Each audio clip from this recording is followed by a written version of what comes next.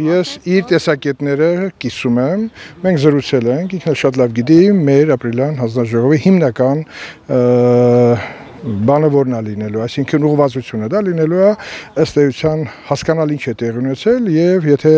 բանակ ունեցել է թերացումներ, օգնել որպեսզի այդ թերացումները, եթե կան պահպանված, դրանք արագ շտկվեն, որպեսզի մենք բանակի առաջընթացը խոչընդոտող որևէ բան չթողենք, որովհետեւ ապրիլյան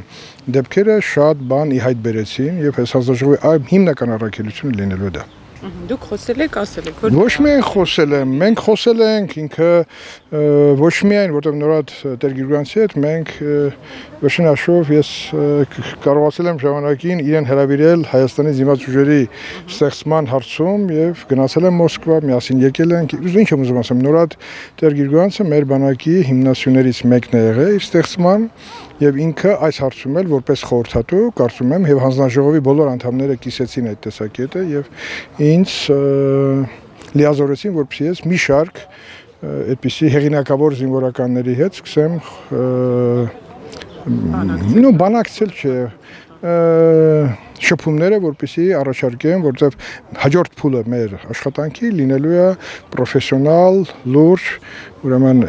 եզրահանգումները ճիշտ գնահատելը, որպեսի մենք հանգարց թերացումներ չունենանք այս կարևորագույն հարցում։ Պարոն Քոչարյան, կոմանդոսներ մեծ ծրությունում ասեց, որ պետք է ներառվեն հանձնաժողովում այնպիսի մարդիկ, ովքեր զինվորական են։ Բայց տեսեք, ինչ զինվորականներ ենք ներառում իսկ ով ասեց, որ ջահելները չկան, եւ ջահելները, եւ ամեն ինչով անցած զինվորականներ, դուք շուտով կտեսնեք, միայն Նորատեր Գիրգանցը չի կամ Վաղարշակ Հարությունյանը չի կամ Վլադիմիր Ասադորովիչ Հարապետյանը չի, հետախուզության բնակավարի լուրջ ուրեմն մասնագետ է նաեւ մեծ խորհրդատվություն անելու ռազմաօթային ուժերի, ոնց ասեմ, շատ շատ ուղություններով ինքը երկար աշխատանքային process է, հա, սպասում է։ Ոչ, ինչքան որ նախատեսված էր 6 ամիս։